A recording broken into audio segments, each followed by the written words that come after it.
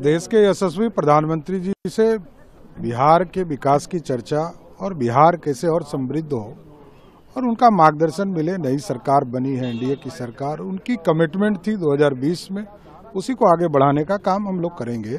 और साथ साथ हम लोगों ने प्रधानमंत्री जी को विशेष तौर पर धन्यवाद दिया है कि उन्होंने सरदे कपूरी ठाकुर जी को भारत रत्न देकर इस देश में एक अति पिछड़े का सम्मान बढ़ाया पिछड़े का सम्मान बढ़ाया और बिहार का गौरव बढ़ाने का। सर एक और सवाल है फ्लोर टेस्ट होना है बारह को लेकिन ये कहा जा रहा है कि कई सारे जो कांग्रेस के लीडर है उनको पहले से ही तेलंगाना भेज दिया नहीं नहीं है। आप ये बताइए आप ये बताइए कि दो पार्टी की सरकार है और तीसरा का सहयोग है। 128 विधायक हमारे पास है। हमको क्या लेना देना? कांग्रेस पार्टी के विधायकों से वोट थोड़े लेना है। लेकिन उन लोगों को डर लग रहा है। ये दुर्भाग्य है, ये घुमाने का प्रयोजन है कि यहाँ घुमाएँगे, वहाँ घुमाएँगे, माहौल खराब करेंगे देश का।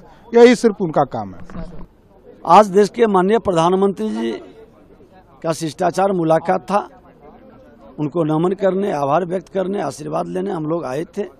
उनका मार्गदर्शन प्राप्त हुआ और बिहार के अंदर एक नए बदलाव, कम समय में बेहतर सुशासन और विकास की गति को बढ़ाने का संकल्प को पूरा करना है।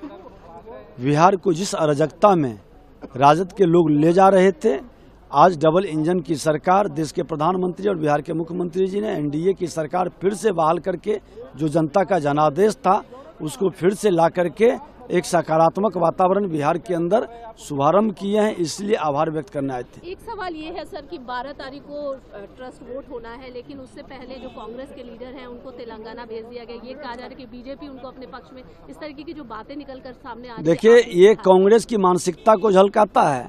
कांग्रेस परिवारवाद वंशवादी और जमींदारी मानसिकता के लोग हैं। जनता के जनादेश प्राप्त किए हुए विधायक पर विश्वास करना चाहिए। लोकतंत्र में उनको विश्वास है तो जनता को, ये विधायक को बंधुआ मजदूर की तरह बाँध करके यहाँ से वहाँ ले जाके घुमाते रहना, भारतीय जनता पार्टी का कैरेक्टर नहीं है। और विधायक पर जब विश्वास नहीं है तो इनको लोकतंत्र पर विश्वास नहीं है।